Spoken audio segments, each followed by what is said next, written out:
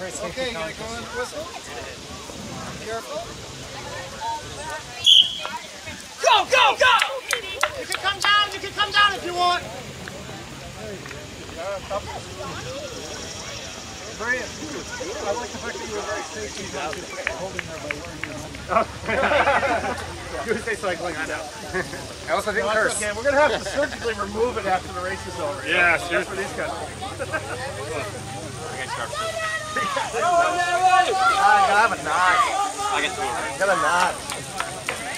Yeah. yeah. Hulk Hogan, Crocodile Dundee night. Natalie! Come on, Anna! Come on, Anna!